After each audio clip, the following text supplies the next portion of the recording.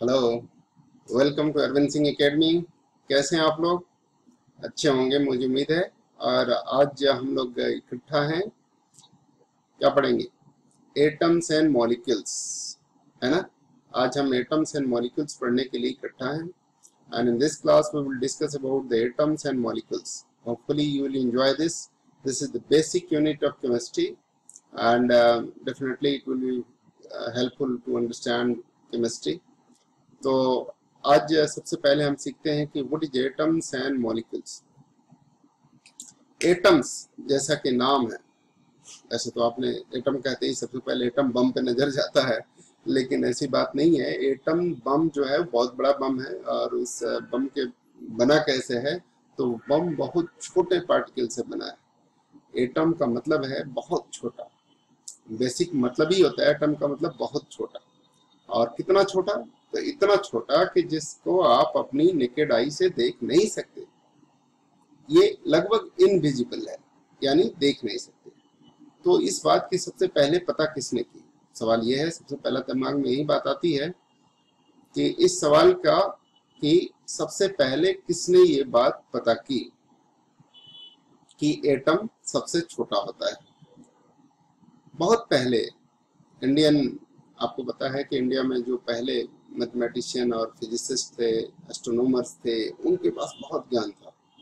तो सबसे पहले इंडियन इंडिया में महर्षि कणात एक साइंटिस्ट थे। महर्षि लोग उस समय साइंटिस्ट भी होते थे। महर्षि basically they are educators and they were educators and educating in different gurukuls आश्रम में लोगों को शिक्षा देते थे और ये खुद भी बड़े विद्वान लोग होते थे। यही लोग तरह तरह से रिसर्च करते थे अपनी स्टडी को और they were scholar at that point of time तो उन लोग, जो बात कहते थे, उसी को पूरी दुनिया मानती थी और ये माना जाता था कि महर्षि लोग जो हैं, ये बहुत ज्ञानी लोग हैं और इनके पास बहुत नॉलेज है और ये जो कहते हैं, वही सही है।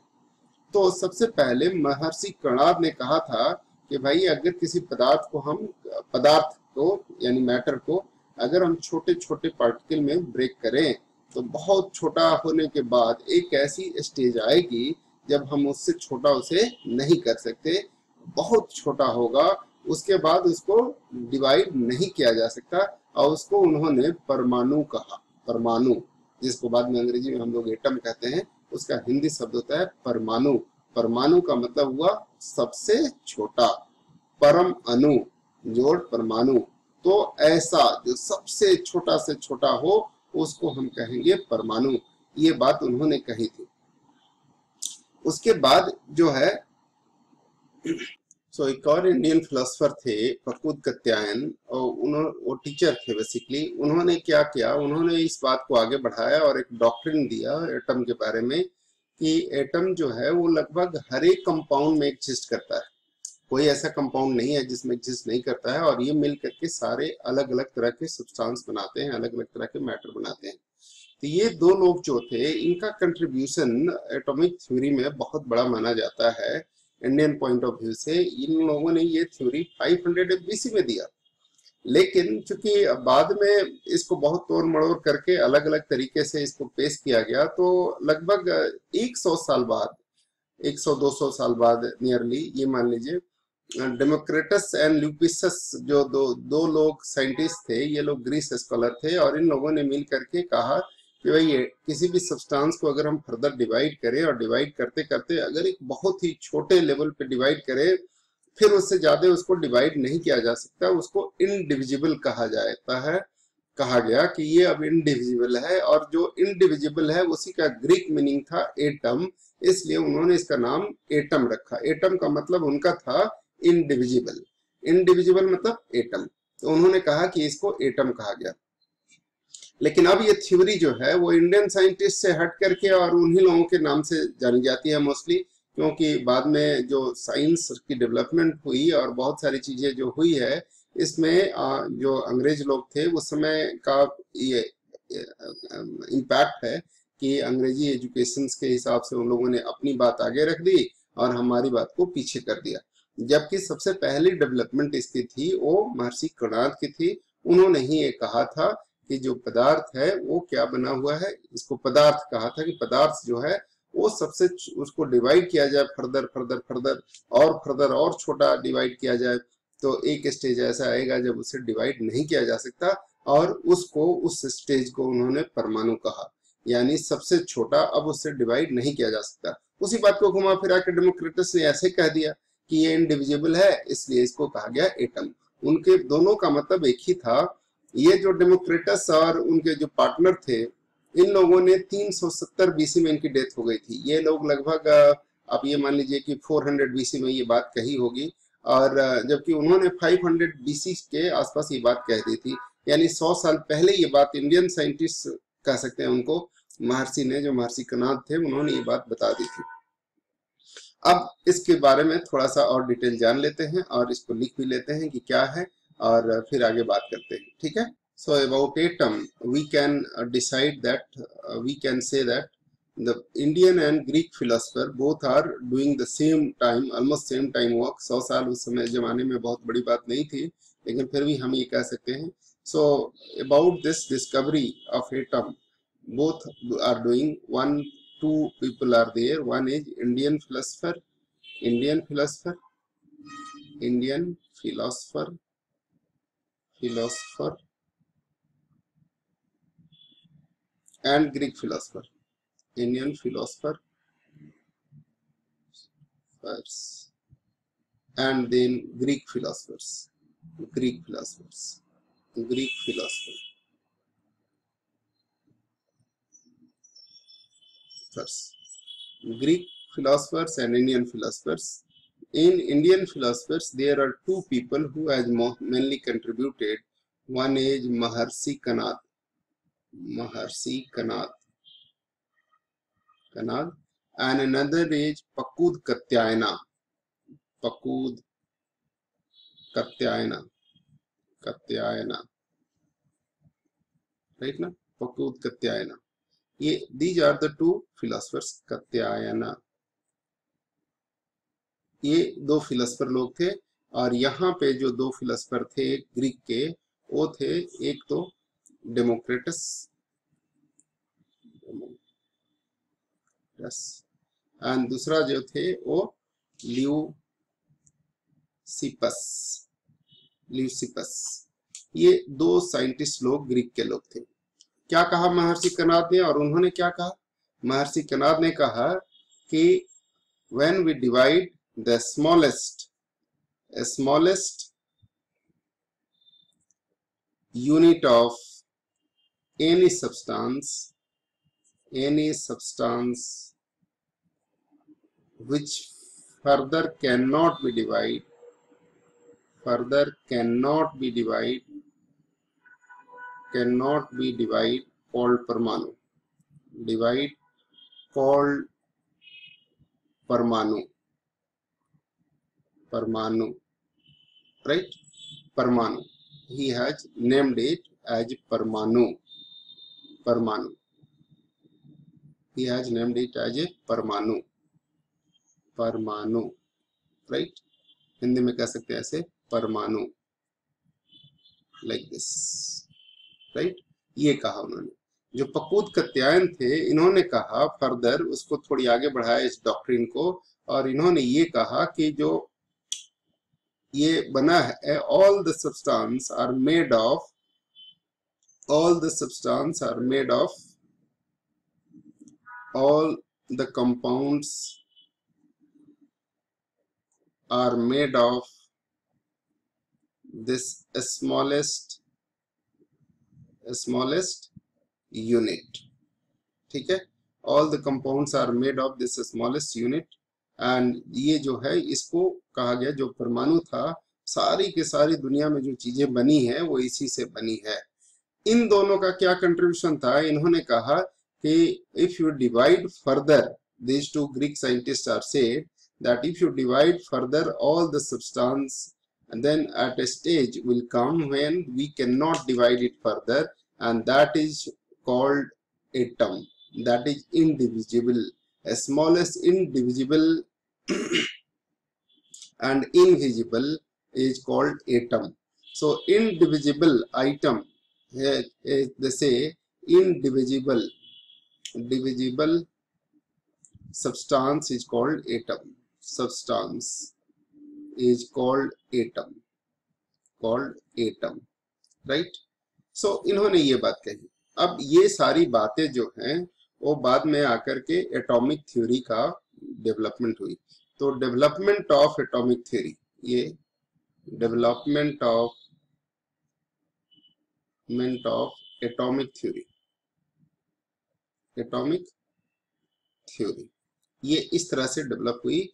और ये सारी बातें जो हैं वो पता चली। अब हम आगे बात करते हैं इसके कि क्या हुआ। इन सबों के डेवलप होने से फिर क्या हुआ? इन्होंने कहा, सब लोगों ने मिल करके कि भाई ऐसा है कि जो कुछ भी बना है, ये दुनिया में जितनी भी चीज़ें बनी है, ये इसी स्मॉलेस्ट यूनिट से बना है और ये फ्री स्टेज में नहीं रह सकता। ये बात फकुद कत्यायन ने उसके बाद कही ये हर एक में ये प्रजेंट होता है लेकिन ये अलग अलग नहीं, अकेले नहीं रहता, ये इंडिपेंडेंट नहीं रहता। बाद में जाकर के इसको डाल्टन ने और ज़्यादा थोड़ा सा इसको एक्सलरेट किया, इस नॉलेज को, इस डॉक्ट्रिन को और आगे थोड़ी सी रिसर्च की और रिसर्च के आधार पे और बहुत सारी बातें बताई। ठीक है? तो ये सब सब्सटेंस के बारे में कि ये जितनी भी दुनिया में सब्सटेंस बनी है, ये कंपाउंड बना है एलिमेंट्स बना है, या हमारी आसपास की चीज़ें हैं, ये सब इसी से बनी है और इसको कहा गया atom so what about atom we can write atom के बारे में क्या कहा गया? Atom is atom atom the smallest unit atom is the smallest the smallest particle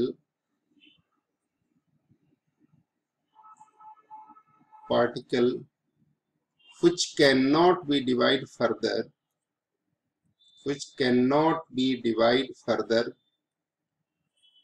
divide further further and it is present in it is present in present in all compounds all compounds present in all compounds and substance substance are made of compounds only so no need to write it but even then we can write because elements are also there. Called atom. Called atom. Further it is found that it is cannot it is not visible. We cannot see it is invisible particle. Invisible particle. We cannot see from naked eye particle we cannot see it from naked eye. Naked eye. We cannot see it from naked eye.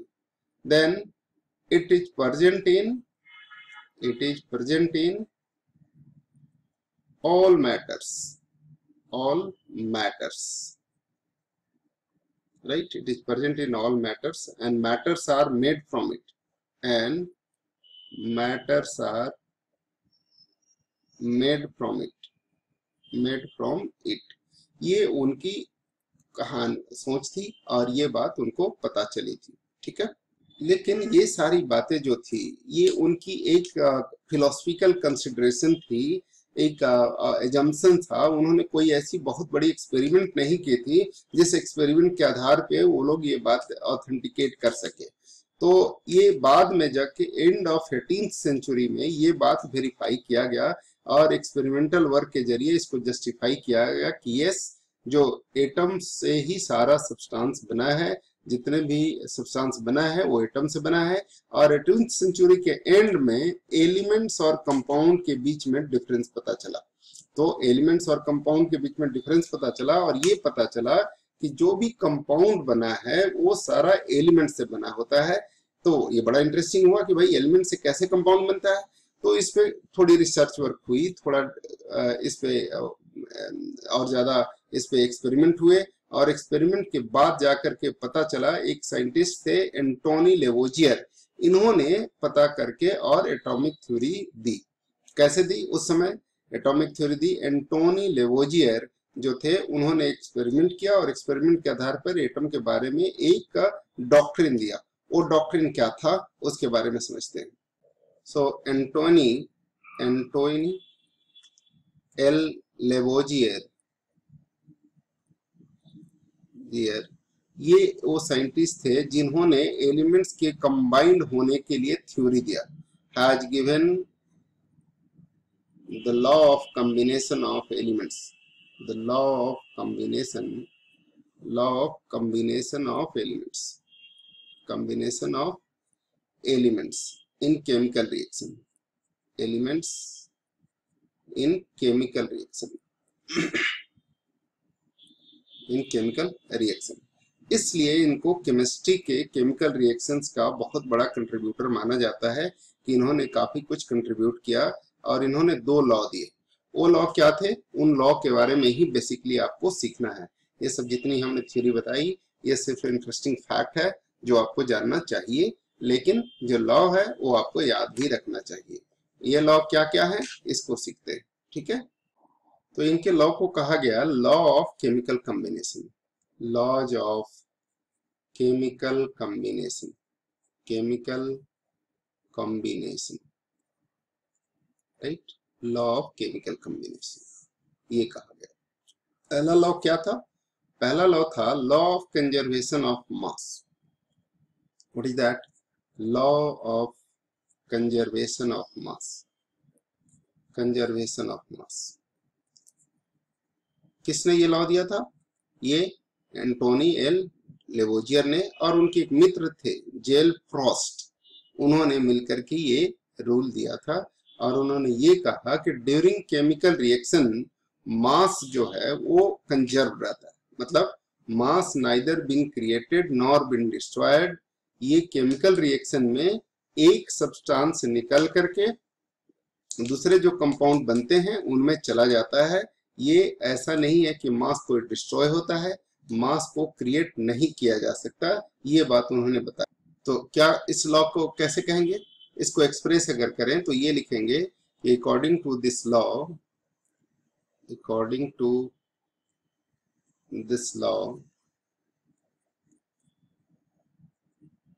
mass neither being created, mass neither being created being created nor being destroyed nor being destroyed.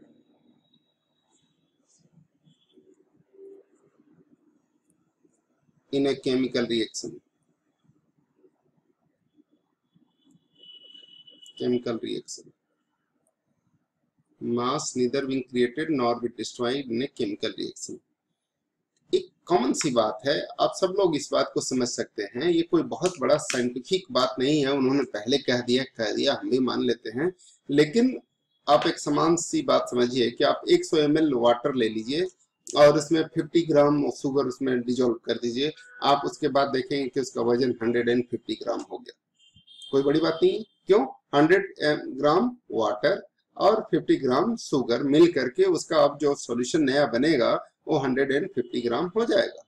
इसका मतलब ये है कि मास का कुछ होता नहीं है। जितना रिएक्शन से पहले सब्सटेंस का मास था, उतना ही रिएक्शन होने के बाद भी मास रहा। लेकिन ये बात उन्होंने कही है, सबसे पहले कही है, इसलिए इस बात को बहुत तरजीह दी जाती है कि केमिकल रिएक्शन में मास का कुछ नहीं होता। Mass neither being created nor being destroyed. The total amount of mass remains conserved. ठीक है? तो ये बात पता चल गई कि टोटल अमाउंट ऑफ़ मास जो होती है, वो कंजर्व रहता है। ठीक है?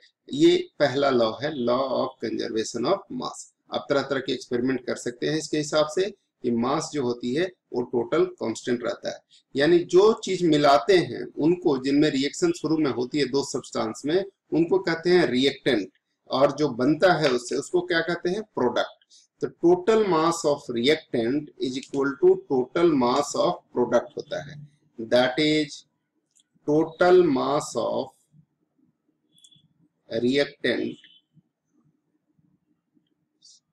is equal to total mass of product total mass of product products ठीक है? जो प्रोडक्ट्स बनेंगे, उनका टोटल मास और रिएक्टेंट का टोटल मास सेम रहता है। मास की कोई हेरा फेरी नहीं होती। ठीक है? दूसरा एक रूल उन्होंने दिया, वो कहा कि रूल क्या है? लॉ ऑफ़ कांस्टेंट प्रोपोर्शन जो सेकंड रूल दिया, उसको कहा law of constant proportion constant proportion portion ठीक है? इस रूल का क्या मतलब इस रूल का क्या मतलब है कांस्टेंट प्रोपोर्शन का? कहते हैं कि जब दो सब्सटेंस कंबाइंड करे, दो एलिमेंट्स कंबाइंड करे, कोई नया कंपाउंड बनाने के लिए तो क्या होगा कि उनकी एक फिक्स रेशियो में प्रोपोर्शन में कॉम्बिनेशन होती है। चाहे कुछ भी सोर्स हो, कोई भी सरकमटांसेज हो, यानी अगर एक कंपाउंड बनता है, जैसे मान लीजिए कि NaCl बन रहा है। NaCl क्या है? सोडियम क्लोराइड है, जो साधारण नमक जिसको आप खाते हैं कॉमन साल्ट तो NaCl बन रहा है तो इसकी एक फिक्स रेशियो होगी, और उस फिक्स रेशियो में ही एक कंबाइंड होगा। ऐसा नहीं है कि यहाँ के NaCl लिया हमने अपने इस दिल्ली से तो यहाँ पे NaCl में रेशियो सोडियम और क्लोरीन का कुछ और है, और मुंबई जाके खरीदे तो कुछ और है, और गुजरात जाके खरीदे तो उसमें कुछ और है। ऐसा नहीं हो सकता। ये कहीं पर भी कंपाउंड बनाया जाएगा तो इसमें सोडियम और क्लोरीन की जो कम्बिनेशन होगी, वो एक फिक्स रेशियो में होगी। उसी को प्रोपोर्शनेट प्रोपोर्शनेट वैल्यू होगी उनकी। एक प्रोपोर्शन में कंबाइंड होगा, ज़्यादा और कम नहीं होगा। तो क्या हुआ इस रूल का मतलब? इस रूल का मतलब ये हुआ कि अगर कोई भी दो एलिमेंट से कंबाइन करे तो उनके बीच में जो कॉम्बिनेशन होगा, वो एक कांस्टेंट प्रोपोर्शन में ही होगा। चाहे एक सब्सटेंस बहुत ज़्यादा रहे या दूसरा सब्सटेंस कम रहे, ऐसा नहीं हो सकता। जैसे मान लीजिए कि आप कहीं गए, आप यूजुअली चार पूड़ी सुबह ब्रेकफास्ट में खाते हो, और आप गए कहीं किसी पार्टी में, और वहाँ बहुत सारी पूड़ियाँ हैं। तो ऐसा तो नहीं है कि आप पचास खा लोगे नहीं, जितनी आपकी ज़रूरत है, उतनी ही खाओगे। उसी तरह से जब कम्बिनेशन होती है तो एक एलिमेंट्स के साथ दूसरे एलिमेंट के कंबाइन करने के लिए एक कुछ रिक्वायरमेंट होती है। वो रिक्वायरमेंट ही उसको चाहिए, उससे ज़्यादा नहीं चाहिए उससे कम नहीं चाहिए। तो ये एक कांस्टेंट प्रोपोर्शन में कॉम्बिनेशन होता है, न ज़्यादा, न कम। तो इसी बात को उन्होंने कहा कि लॉ ऑफ़ कांस्टेंट प्रोपोर्शन है। और इस कांस्टेंट प्रोपोर्शन के बारे में क्या लिखें? ये कहा कि in a chemical in a chemical substance chemical substance terms elements elements are elements are always present always present in definite proportion definite proportion by mass. Mass की उनकी एक डेफिनेट प्रोपोर्शन होती है। ये रूल उन्होंने कहा। ये रूल उन्होंने दिया। फॉर एग्ज़ाम्पल सबसे आसान सा एग्ज़ाम्पल लेते हैं जो आपको याद रहे। H2O H2O में क्या होता है? H2O में ये जो वाटर है वाटर का फॉर्मूला है वाटर बनता है तो इसमें H2 हाइड्रोजन के दो एटम ऑक्सीजन के एक एटम के साथ कंबाइन करता है। हाइड्रोजन के दो एटम का वेट कितना हो गया? हाइड्रोजन के एक एटम का वेट होता है वन ग्राम वन अप्रोक्सीमेटली 1.008 होता है, लेकिन वो बहुत छोटा है। तो दो हाइड्रोजन का मिलाकर कितना हो जाएगा? Weight of two hydrogen two gram तो टू ग्राम हो गया, अगर इसको एक ग्राम मान लिया जाए, इसको टू ग्राम मान लिया जाए, और ऑक्सीजन का वेट होता है सिक्सटीन ग्राम। तो इसका मतलब हुआ कि हाइड्रोजन और ऑक्सीजन का कॉम्बिनेशन दो ही एलिमेंट प्रेजेंट है। कौन कौन से एलिमेंट प्रेजेंट है? एक हाइड्रोजन और दूसरा ऑक्सीजन इन एच में कौन कौन से? एक हाइड्रोजन और ऑक्सीजन प्रेजेंट है और हाइड्रोजन के दो ग्राम ऑक्सीजन के कितने ग्राम से कौन? ऑक्सीजन ऑक्सीजन के 16 ग्राम के साथ 16 ग्राम के साथ ऑक्सीजन के 16 ग्राम के साथ कंबाइन कर रहे हैं। यानी इनकी रेशियो हो गई टू इज़ टू सिक्सटीन यानी वन इज़ टू एट ये प्रोपोर्शन रहेगी मास का कि two gram hydrogen will combine with 16 gram of oxygen और ये हमेशा कांस्टेंट रहेगा, चाहे कहीं पर भी वाटर का फॉर्मेशन हो, कैसा भी वाटर हो, इसमें ये कॉम्बिनेशन जो रहेगी वो फिक्स रहेगी। Means wherever a water molecule will form hydrogen and oxygen combine in ratio 1 is to 8 and that will be constant everywhere. Means 2 gram of hydrogen will combine with 8 gram of oxygen always. यहाँ पे लिख देता हूँ mass of hydrogen atom hydrogen atom होता है कितना 1.008 होता है बेसिकली बट 0.008 को हम लगभग अप्रोक्सीमेटली 1 मान लेते हैं 1 तो वन यूनिट कह लेंगे, इसको ग्राम एक्सप्रेस करेंगे तो वन ग्राम कह देंगे, है ना? So that is approximately equal to approximately equal to one gram and mass of mass of atomic mass of atomic mass of oxygen oxygen is equal to होता है fifteen point nine nine nine that is approximately 16 gram so we can say one atom atomic mass of this is nothing else but atomic mass atomic mass of hydrogen hydrogen atom H atom hydrogen atom is this and oxygen atom is this so यहाँ पे चूँकि दो hydrogen है इसलिए दो hydrogen का wait एक hydrogen का वेट एक ग्राम सो टू हाइड्रोजन का weight 2 grams. So 2 grams hydrogen will combine with 16 gram oxygen to form 18 gram of water. And therefore we can say that hydrogen and oxygen are combined in ratio 2 is to 16 that is 1 is to 8 and that will be constant for every molecule of water. That is why this law is called law of constant proportion. Law of constant proportion. ये इसकी theory है, क्योंकि ये constant होता है, ठीक है? Law of constant proportion proportion ठीक है? ये होता है इसकी थ्योरी तो ये इस थ्योरी के आधार पे हम कह सकते हैं कि लॉ ऑफ़ कांस्टेंट प्रोपोर्शन आपको उम्मीद है कि समझ में आ गया होगा, हर एक एलिमेंट में जितने भी कंपाउंड बने हैं, उसमें जो एलिमेंट्स उसमें प्रेजेंट हैं, उनका एक डेफिनेट प्रोपोर्शन होता है बाई इट्स मास मास के रेस्पेक्ट में इसका डेफिनेट प्रोपोर्शन होता है। लेकिन इसकी एक प्रॉपर एक्सप्लेनेशन देने की आ, बहुत ज़्यादा ज़रूरत थी। तो बाद में ब्रिटिश साइंटिस्ट एक थे केमिस्ट थे basically John Dalton John Dalton उन्होंने एक थ्योरी दिया और इसलिए उसको कहा गया Dalton atomic theory Dalton's Dalton's atomic theory उन्होंने एक थ्योरी दिया कि किस आधार पे ये केमिकल कॉम्बिनेशन होते हैं और इसमें मास कैसे कंजर्व रहता है, इसलिए उसको कहा गया डाल्टन एटॉमिक थ्योरी इस थ्योरी के आधार पर क्या हुआ? इस थ्योरी को क्या कहेंगे? पोस्टुलेट्स इन्होंने जो जो बातें कही, उसको कहा गया पोस्टुलेट्स तो postulates of of Dalton atomic theory. Dalton's atomic theory क्या था? ये आपको याद रखना चाहिए। ये आपको याद रखना चाहिए postulates of Dalton atomic theory पहली पोस्टुलेट्स क्या थी उन्होंने? क्या कहा? वो सारी, वही सारी बातें जो इस बात को लिख लीजिए, वही सारी बातें जो है, जो पहले कहा गया, उसी सबको उन्होंने पोस्टुलेट्स कर दिया।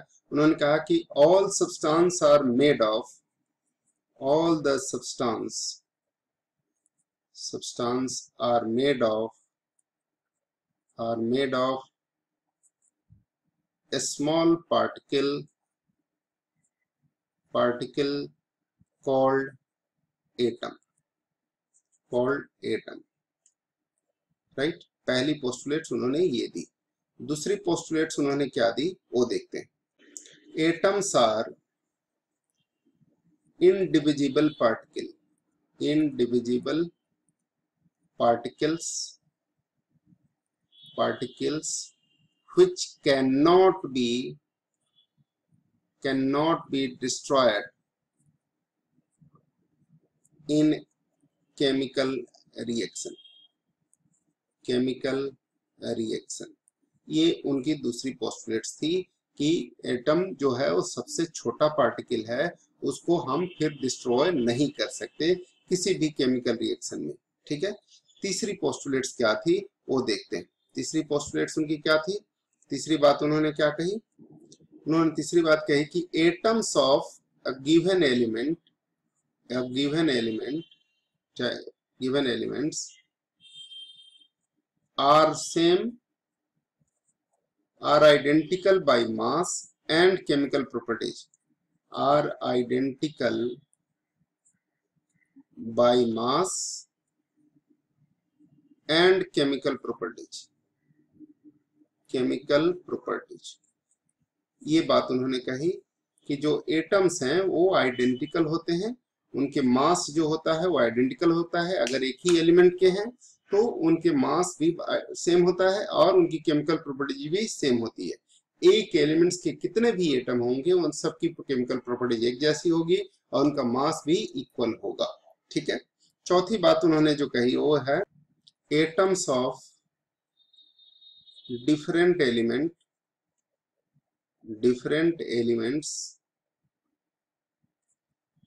may have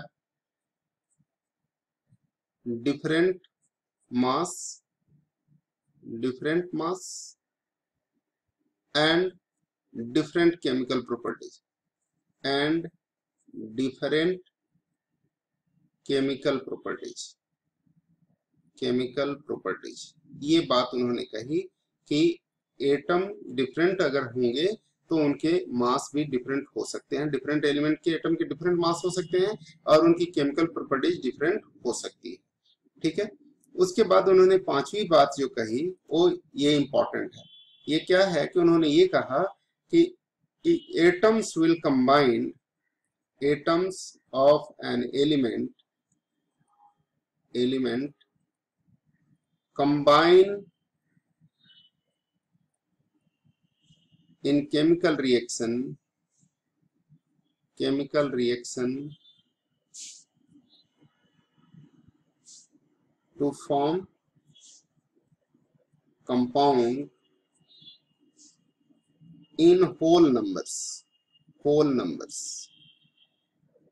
whole numbers मतलब one atom can combine two atom can combine three atom can combine but cannot be it is not possible that two and half atom of one element can combine and 3.5 element uh, atom can combine of other element that is not possible या तो एक atom या दो atom combine करेंगे या five atom combine करेंगे but ऐसा नहीं होगा कि 4.5 या 4.75 एटम्स जो है वो कंबाइन कर ले ठीक है उसके बाद एक और उन्होंने बहुत महत्वपूर्ण बात कही वो ये है सिक्स प्रॉपर्टी जो है, वो पोस्टुलेट ये है। The relative numbers relative numbers relative numbers and kind of elements kind of elements are constant are constant in a given compound in a given compound given compound ठीक है? ये होता है कि relative number of and kind of elements are constant in a given compound ये बातें उन्होंने छह बातें कही, इसको आप याद रखेंगे तो अच्छा रहेगा। ठीक है? तो इस तरह से डाल्टन के एटॉमिक थ्योरी तक आकर के एटम के बारे में बहुत कुछ क्लियर पिक्चर हो गया कि एटम क्या है और ये दुनिया कैसे बनी है और ये सब्सटेंस कैसे बना है, हम लोग कैसे बने हमारी आसपास की चीज़ें कैसे बनी है, ये बात ऑलमोस्ट जा करके क्लियर हो गया। और ये इसका श्रेय बहुत ज़्यादा डाल्टन को जाता है क्योंकि उन्होंने पहली बार सारी चीज़ें इलेबोरेट करके बताई और कुछ एक्सपेरिमेंटल वेरिफिकेशन के आधार पर बताया एक्सपेरिमेंट्स के आधार पर बताया, जिससे डाल्टन का बहुत बड़ा नाम है और इसको कहा गया डाल्टन एटॉमिक थ्योरी लेकिन ये बात ध्यान देने वाली है कि डाल्टन के एटॉमिक थ्योरीज देने के बहुत पहले, ये तो एटीन सेंचुरी में जाकर के उन्होंने दिया लगभग eighteen century nineteen hundred and something में जाकर के उन्होंने 1905 में समथिंग दिया था थ्योरी लेकिन ये जो बहुत पहले हमारी जो संस्कृति है, हमारे जो ऋषि मुनि थे वो लोग इतने नॉलेज वाले थे, जिन्होंने उनके जमाने में इतने एक्सपेरिमेंट करने की चीज़ें तो होती नहीं थी। लेकिन उन्होंने इस बात का अनुमान लगा लिया था कि ये जो है वो कर्ण से बना है। शायद कणाद उनका उन्हीं से नाम पड़ा होगा कि कर्ण से बना हुआ है महर्षि कनाद और मे भी उन्होंने ये थ्योरी दिया होगा कि ऑल जो सब्सटेंस बने हैं, जो हमारी आसपास की चीज़ें बनी है, वो परमाणु से बना है। आज भी हम उनको बहुत आदर से इस बात के लिए धन्यवाद देते हैं। और मुझे उम्मीद है कि आपको ये बात सब समझ में आ गई होगी कि परमाणु का डिस्कवरी कैसे हुआ और कहाँ से कैसे पता चला कि परमाणु क्या है और परमाणु के बारे में अगली क्लास में हम सीखेंगे कि परमाणु एक्चुअल में है क्या और उसके बारे में और डिटेल बातें करेंगे। ठीक है? Till then bye bye God bless keep watching and subscribe our channel don't forget to subscribe our channel and uh, if you have any doubt do write to us at arvind singh academy at rate of gmail.com and if you want some study material you must visit to our website www.arvindsingh.com thank you. Thank you very much for watching